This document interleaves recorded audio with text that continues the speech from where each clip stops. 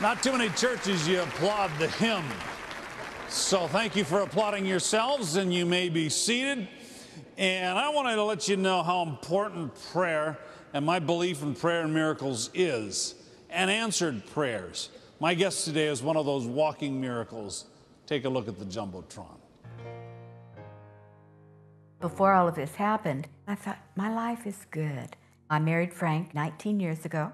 I have three sons and four grandchildren, and I had no indication that anything was wrong with me. Then uh, one evening I was getting ready for bed and I passed out. I was taken by ambulance to the local hospital and they discovered I had a very large brain tumor. And I was transported to UCLA, given the advice that the surgery needed to happen rather quickly in order to save my life. When I first saw Evelyn, she was awake but she really wasn't aware. The tumor was occupying about 30 or 40 percent of the left half of the brain. Uh, literally, it was as big as the average person's fist. Without surgery, she would have lapsed into a coma, and this would have been fatal. It was kind of desperate feeling. And one day I was in bed praying. All of a sudden, I felt I was in the hands of God. I've never felt it in that same way and I had not a care in the world. The surgery lasted for 15 hours. My family was there waiting all night long. And Dr. Martin came walking into the room where they were saying, I got it all. And I moved from there right into recovery. I've always had faith for many, many years, but I think my faith is stronger now. I feel a closeness and a reassurance that He will really be there beside me through anything I go through, and I feel I can depend on that 100%. Would you please welcome longtime friend Evelyn Freed? Evelyn, God loves you, and so do we. Thank you. I saw a picture of you in a wheelchair shortly after the surgery. You don't look like that at all anymore. what was the recovery process like for you? Well, um, I didn't have a lot of education ahead of time since it was an emergency. And uh, I, I, when they brought me a walker, I thought, hmm, I don't think this is my look. It wasn't your fashion statement. Right, no, huh? no. But I had to use a walker, and eventually I graduated to a cane, and I had physical therapists uh, coming to the home. Uh, working with me. I also went to a physical therapy clinic because my jaw was sort of locked had to have a lot of therapy on that. And um, the wonderful thing about it is all of those people caring for me were exceptional, and, and it, it, was a, a, broadening experience in that regard. Um, I ha had to learn to walk. The first time they asked me to walk by myself, I'm kind of going like this. And eventually I could walk, and they showed me the stairwell, and the therapist says, You will go down and up those those big stairs that you know about. Show me a fist. That was in there. Mm-hmm. Absolutely astonishing that you're standing here today. Do you have any any side effects at this mm-hmm. time? I have a little imbalance if I walk somewhere that's a little tilted or deeper steps or something like that. And if, if a man pulls me to him and hugs me and starts to walk off, I'm apt to fall flat. I won't walk off. and I have a little trembling, which is just uh, involuntary. It doesn't really, I'm a little clumsy, but it, it might go away. They don't really know. It's probably an after effect. And um, that's uh, pretty much it. I'm, I'm doing, I think Dr. What? Martin told me I'm 99% cured.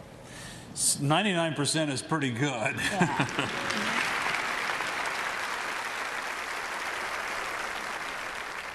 what has this done to your faith?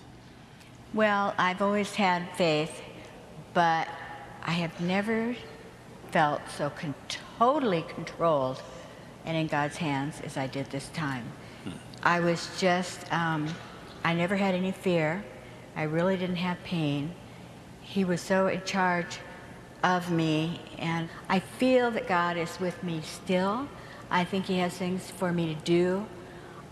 I am brighter, I'm more active in my thinking and in my living and enthusiastic. I'm active in uh, guideposts and in uh, Fuller Theological Seminary in here. And these are all like organizations Yes, in that they're are. a healthy form of Christianity and they're all about helping other people every day. And that's my goal in life is to help people every day. And I'm helping Dr. Martin in some ways too with his research. Isn't that tremendous? Thank you, Evelyn. Uh-huh. You're welcome. Well, you, your doctor is here, Dr. Neil Martin. Would you please stand up? In fact, would you come on up here? I want to talk with you. It's a pleasure to meet you. God used you to perform a miracle, didn't he? Well, in many ways, seeing Evelyn here today is a miracle, seeing her doing so well, because I, we, we face every operation with confidence and a, and a degree of hope, but I was concerned about her surgery because of the large size of the tumor. And during that 15 hours of surgery, there are a lot of opportunities for things to go wrong, and none of them did. Hmm. And every critical milestone during that operation, when there were various things that we may have found or we may have been able to do, the right thing happened every step of the way. Well, you know, we were praying for her, and, and I know you were praying, and God answers prayers, and uh, and she's doing very well because of that. Now you have a, a, a new instrument that you're, you've been working with now. Is that correct? All of us would like to be in two places at once. Yes. Uh, and I often have to do that in order to take care of a medical crisis when I'm not on the scene physically. So we can now appear on the scene virtually. We, use, we have a robot that we can drive remotely from a, a different location and interview a patient through the robot. They can see your face on the robot's head, you can see the patient, and I can actually examine patients remotely when, when there's some kind of a crisis. It really uh, allows us to uh, spread the skills and knowledge and experience of specialists to remote locations when, uh, when they're not there physically. Tell me about your faith. You're a member of uh, Bel Air Presbyterian, is that correct? That's right. That's right. I'm a Presbyterian, and uh, I, I would have to say I don't get to church as often I, as I would like. But uh, I, will, I will say this that very often before surgery, or very often in the recovery room, a person tells me, everybody in my congregation is praying for me. And when I hear that, I feel very good because I, I don't know, I don't have statistics, but when I hear that, things go well.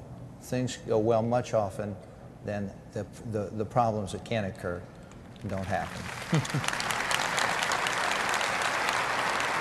so, so Evelyn, Evelyn clearly had a lot of people praying for her because everything went perfectly. Well, on behalf of this congregation, the members here, uh, I just want to thank you for the work you did through God's guidance and prayers in uh, giving us Evelyn back. And we're just so pleased to have her here. And we thank you for being responsive to God's call and for touching people in a positive and constructive way. Thank you. It's just it's wonderful to have a job that's about helping people, as you know. Yes. A- And I and I feel the same way. I feel privileged. I have to say, how many of you'd like to trade places with me right now?